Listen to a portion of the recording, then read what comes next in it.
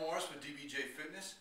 Today we're going to go over a forward lunge using the balance cushion.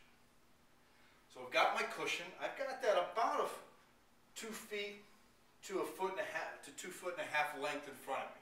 Okay. This point, again, our object is going to be to step onto the balance cushion and down. A lot of people, when they do this, they'll push into the into the cushion. But let's make sure we get the foot on the cushion so here we go. So I'm going to take my step. I've got my foot on the cushion. Now I'm going to go down. Beautiful. Step on the cushion and down. You should feel a little wobble, a little unstable. That's the purpose of the exercise. It's up to you to control that. Here we go. Step on the cushion and down. I'm Darrell Morris with DBJ Fitness. That's our forward lunge using the balance cushion.